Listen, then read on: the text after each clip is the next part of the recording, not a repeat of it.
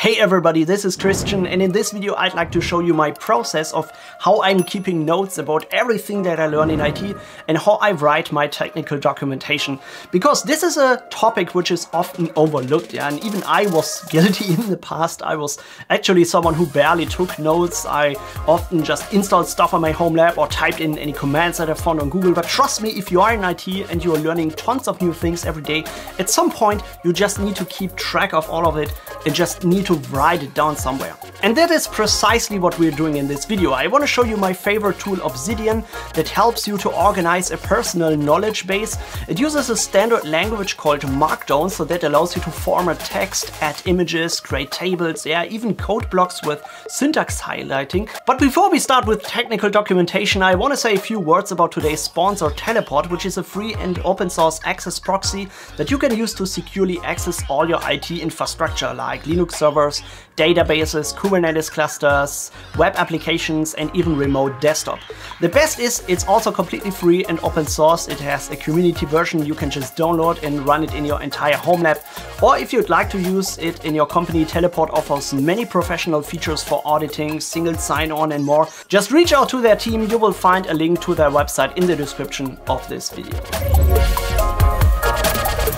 Okay, so before we jump into Obsidian, first a few basics about Markdown and why I'm using it for all of my notes and technical documentation. So I know there is a pretty good chance that you already know what Markdown is, but in case you don't, let me just give you a quick summary. So when you are writing a text document, Markdown is a so-called markup language that you can use to add text formattings to your document. Similar to what you know from Microsoft Word or OpenOffice. When you want to make your text bold, you want to add a heading or insert a link. But unlike in a program where you click buttons to apply formattings directly to your text, Markdown is just a plain text file where you use a specific syntax to denote what the text should look like. For example, if you want to add a heading in Markdown, just add a hash in front of this text. If you wish to make your text bold, just put it between two asterisks, or you can simply use dashes to create a list of items. And to turn the markdown file that you create in plain text into something visible, you need to use a program, so that converts it into HTML. In VS Code, you can just open a markdown file and in the split view, you can see the HTML conversion of that even in real time. And just as simple as that, you can add many more useful formattings which are great for writing technical documentation such as images, links and code blocks, yeah, even with syntax highlighting. And that all makes it very useful to create good readable README files, cheat sheets, project documentation or even just simple notes. Uh, what is also great about Markdown, and that probably is a key reason why it is so great for IT and software documentation, because it uses a standardized language, many applications understand it, and it's very easy to import a Markdown document into a different program or turn it into a web page to publish it somewhere. For example, on GitHub, all the README files and documents that you see are usually written in Markdown language. And just like that, there are many other programs and services that understand and use it to format text. For example, on Reddit, it's also the standard language for content, or Slack also uses Markdown in their messages. So it's really a wide used standard in technical documents and web pages for text formatting. And it's pretty easy to learn because Markdown, unlike HTML, is really just focusing on the most important formatting syntaxes. By the way, if you are interested in the full Markdown syntax, I've created a new sheet document on my GitHub page where you can just look up all these different formattings. I leave you a link below in the description, of course. And if you enjoy my videos, well then give this one a thumbs up and subscribe to my channel. That would be really nice. And it's also helping a lot with the YouTube algorithm. So that's why I write all my documentation now in Markdown and I don't use any other program because it's just the best way to do it. And there are many Markdown editors out there that you can use for writing Markdown files and organize your notes or documents somewhere. And I want to show you my favorite program which has uh, some very sophisticated features that go far beyond formatting. It's called Obsidian and in my opinion this is just the best Markdown editor out there. Many people use it as a so-called second brain, so that basically means a knowledge base for everything that you know. So it's not like VS Code, just a comfortable editor for Markdown. It's also helping you to organize documents with filters and search functions. It also supports tags, backlinks, and many more stuff, which is really impressive. And the best, it's free and you can use it on all systems, Windows, Linux, and macOS. To start working with it, you need to create a vault. So this is like a storage for your Markdown files. And what's pretty nice here, you can just open a simple folder on your PC and use it as a vault. So if you already have an existing project that you copied from another machine or maybe a Git repository that you cloned, you can just open it. But if you're starting fresh, you can also create a new vault, give it a name and set a location on your hard drive. All the markdown documents that Obsidian uses are just plain text files in this folder. And the Vault also stores all the config data, plugins, whatever you changed in Obsidian itself in a .obsidian directory.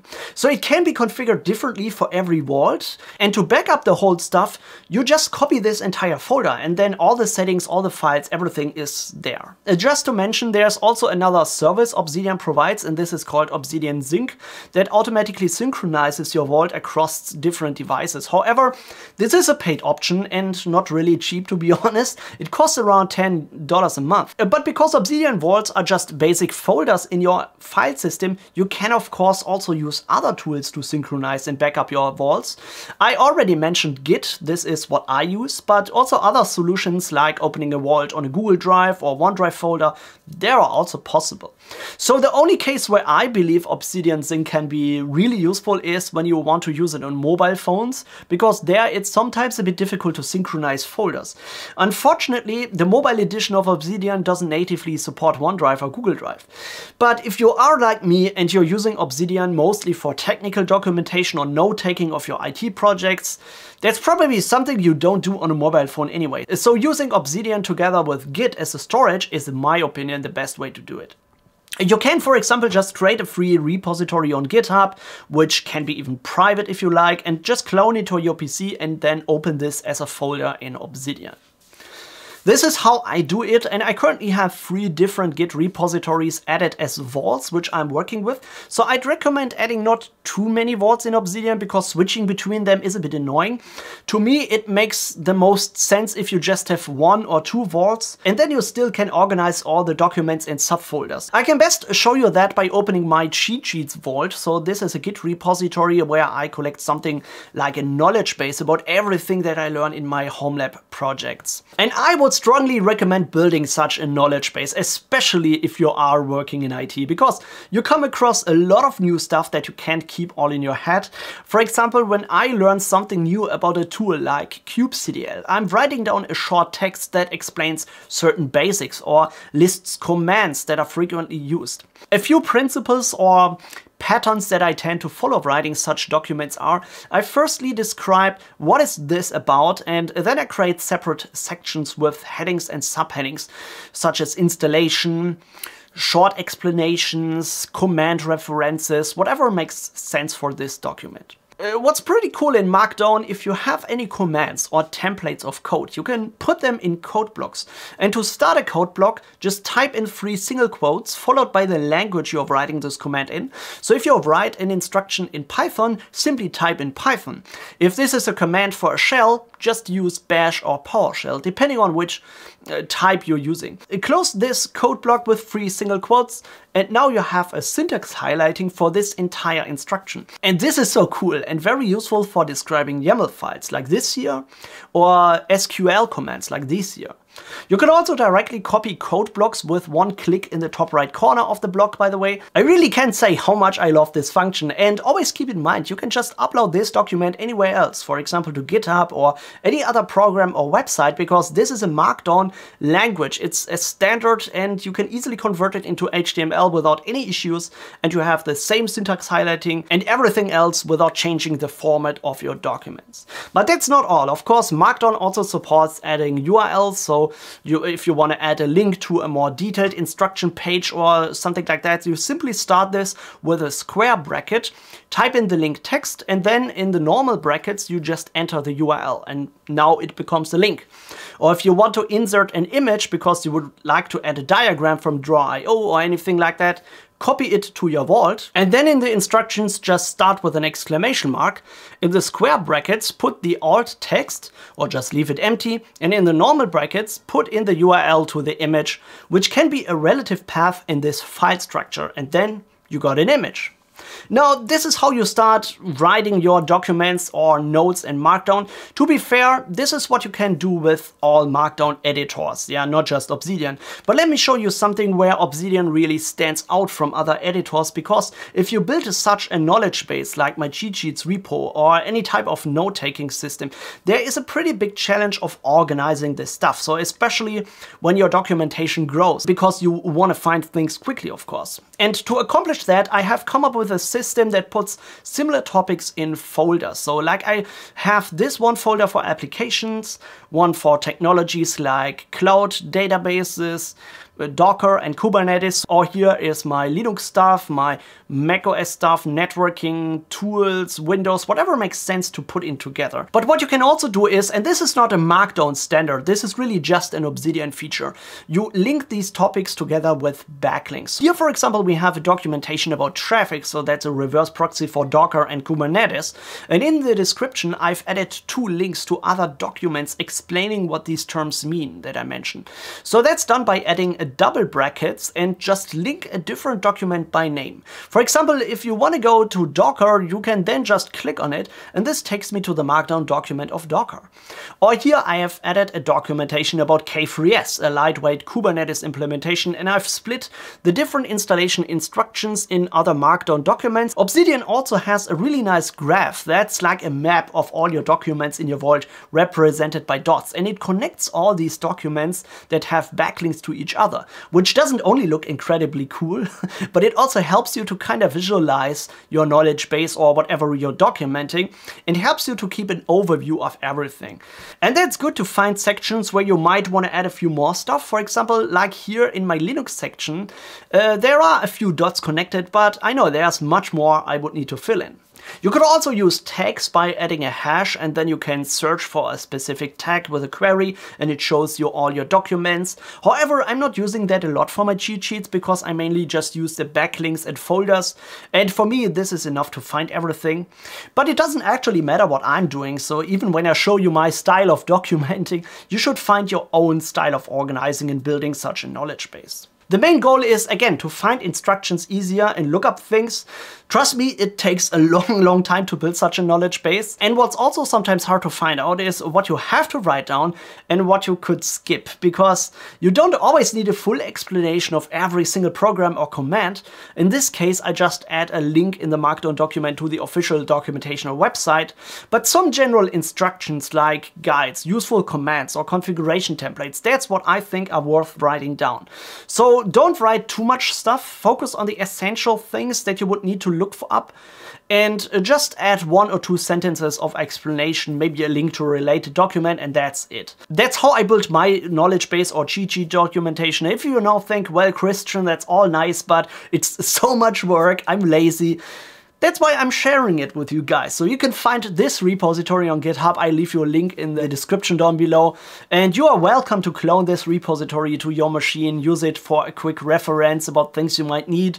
And if you like, I'm happy if you would contribute. So if you want to work together on this cheat sheet repository, that would be so wonderful because I sometimes don't have the time to write down every single command.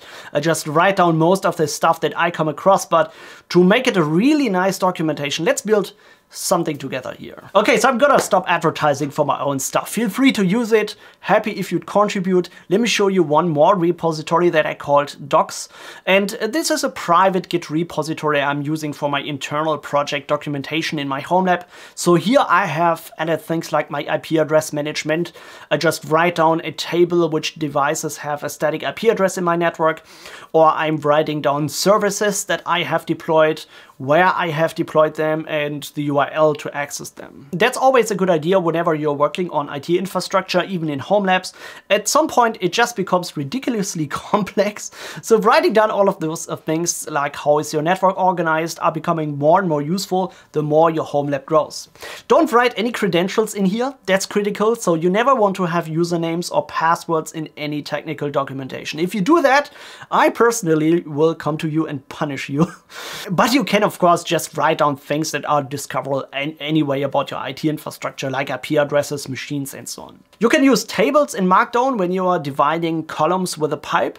And the first row is always the heading. Between the heading and the rows, type in the same number of columns like in your heading, but fill them with minus symbols. And then you just start adding your rows. And yeah, this is how you can build up a table in Markdown. You might feel this is a little clunky, yeah, editing tables in Markdown isn't really fun. Some people might even prefer using Excel sheets for that, but here Obsidian is going to help us because it supports plugins. And this opens a whole new world for you guys. There are so many plugins written by the Obsidian community to enhance the functionality of this program. In the settings menu, where you can adjust general things like appearance, font, and so on, there are two important tabs for plugins. There are core plugins, those come from the Obsidian team itself, and the community plugins. So these are untested plugins that everybody just can publish. So they are not really audited by anyone else in the community, uh, but you can look at the total installations count. So that is usually an indicator of how many people are using it and if the plugins are working. There's one specific plugin that is also the most popular one. It's called Advanced Tables. And once you install this and enable it, it creates a new menu point where you can toggle this plugin's toolbar. And here you have some really useful things for working with tables like adding and removing rows, columns, moving entries up and down. So things that you know from something like a spreadsheet. That obviously doesn't make Obsidian an Excel competitor, but it can save you so much time working with tables. And just like that, there are many other plugins that enhance Obsidian. There are plugins that help you to do day planning in Obsidian, yeah, do time tracking or have a daily note planner. Even a Kanban board there's a plugin for. You can see there are endless possibilities. However, I need to say this is not what I'm using Obsidian for. I actually don't use many community plugins because I believe there are sometimes better tools for certain tasks that these community plugins try to do. For me, Obsidian is undoubtedly the best Markdown editor. I use it for all my note-taking and technical documentation of IT and software projects, and that's where it's absolutely the best tool for. But of course, this is all up to you, how you use it. Maybe Obsidian fits perfectly into your day planning or time tracking workflow, I don't know. And that's what I like so much about Obsidian. It doesn't try to be the all-in-one tool for everything out of the box. Instead, it focuses on the important stuff and gives you the ability to write down your own plugins and customizations to make this tool what, whatever you want it to be.